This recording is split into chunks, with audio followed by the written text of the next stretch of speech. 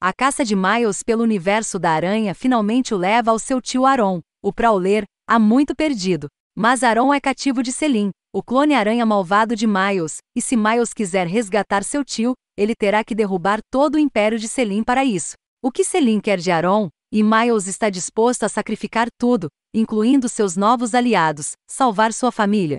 Miles descobre que Selim está usando seu tio Aaron para alimentar o escudo que mantém o Brooklyn isolado do resto do mundo. Infelizmente, resgatar Aaron é apenas o primeiro passo, pois os reforços chegam para detê-los.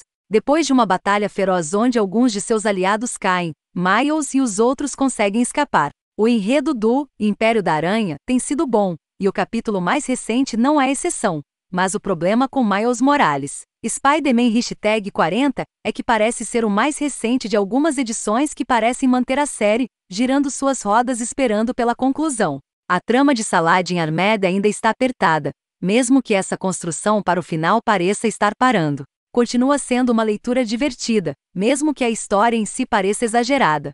O artista Alberto Foch tem a honra distinta nesta edição de desenhar duas das melhores páginas iniciais para o Evil Miles Morales. Com o escudo começando a cair, Selim se prepara para levar a luta à resistência.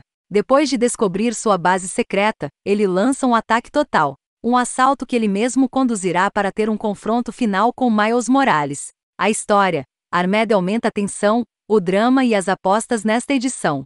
Há uma grande ação ao longo da história, e tem um ótimo ritmo que mostra o imediatismo da luta. A ação é emocionante, e adorei os momentos com Selim, porque mostram a ameaça que ele se tornou. Será interessante ver como Miles se sai contra seu clone poderoso e implacável.